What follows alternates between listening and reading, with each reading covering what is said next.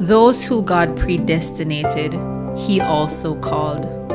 This is the third link in the golden chain that we will explore today. The third step in the salvation of a person is God's effectual call, his divine summons of that person. Paul says, Moreover, whom he did predestinate, them he also called. Those whom God foreknew in respect of salvation, and who were predestinated to be conformed to the image of his Son, were also called by him. Brothers and sisters, when we understand that salvation is the work of God alone, we will appreciate that there can be no breakdown in the process. The Greek word translated as called is kaleo, according to Vine's expository dictionary of biblical words. The word is used particularly of the divine call to partake of the blessings of redemption. The word kaleo was used in the first century as a technical word in legal practice and meant an official summons, as in the case of the summoning of a witness to court. The word here means more than a mere invitation. It is a divine summons. The ones summoned are made willing to obey the summons, not against their will, but with their free will and consent. It is an effectual call. The one called always responds. In Ephesians 2, verse 8, we read, For by grace are ye saved through faith and that not of yourselves. It is the gift of God. Paul is informing us here that we are saved by grace. Salvation is all of grace. The faith we exercise in order to be saved is given to us by God when He calls us and is included in the salvation provided. The call of God, therefore, is a divine summons which is always answered by the one summoned. When we speak of the call of God, we are referring to the process by which the soul, which was dead in trespasses and sins, hears the voice of God and is translated out of death into life. In other words, when God effectually brings to pass in the life of any person that which he has purposed in himself according to his decrees and purposes, that person is called. Brothers and sisters, it is very important for us to recognize that there are two calls spoken of in the Bible which must be carefully differentiated from each other. There is an outward call that is universal, and there is an inward call that is specific to the elect and which produces life in them. The outward call comes to all human beings. It comes to them in the proclamation of the gospel. It is of this outward call that our Lord refers in Matthew 22 14. For many are called, but few are chosen. The Greek word translated called here is not kaleo, which is translated as called in Romans 8:30. The word used in Matthew 22:14 is kletos, According to Vine's expository dictionary of biblical words, the word kletos is used to speak of an invitation. It is used of the call of the gospel, as in Matthew 20:16 and the scripture that we just read, Matthew 22:14. It is not used in these verses to refer to an effectual call.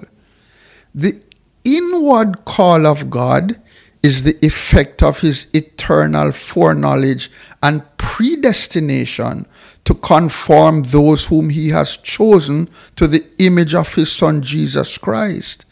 But this inward call of God is also the actual cause, the actual means, the actual implementation of the eternal purpose whereby we are conformed to the image of God's Son.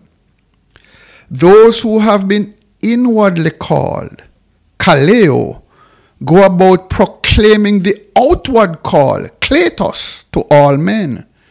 The Lord Jesus ordained that we should do this in Matthew 28 19 to 20. We are used of God to give the outward call, but only God can give the inward call. The outward call can and is often rejected, but the inward call is always obeyed. The inward call is the operation of the Holy Spirit within the heart of those whom God has chosen unto himself before the foundation of the world.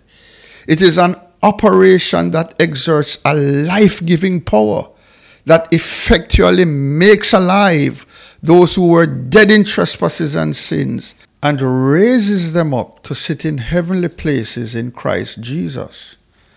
The mark of the individuals who have been foreknown and predestined is that they have been effectively quickened so that the life of God has become their life. This call does not merely tell the blind that they should open their eyes and see. This call gives sight to the blind.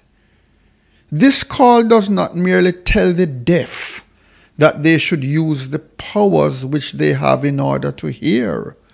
This call unstops the ears of the deaf and brings such life to the ear that the softest whisper of God can be heard by the soul evermore.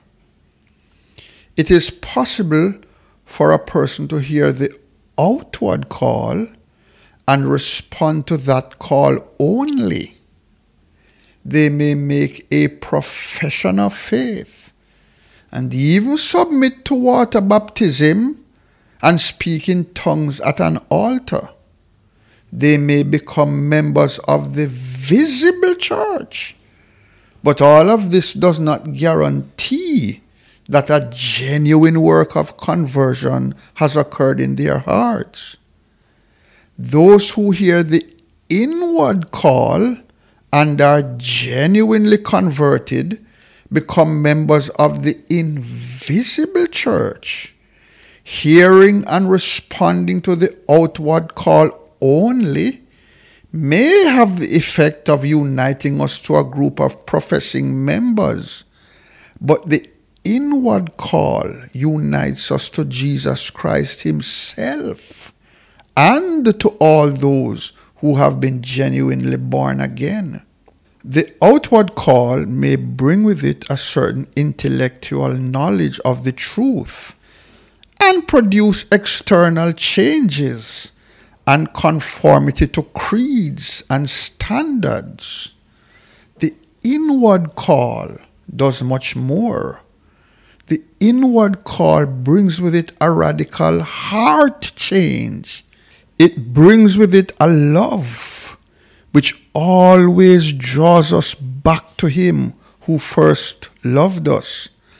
The inward call will gradually conform us to the image of Jesus Christ and will one day cause us to be perfectly whole.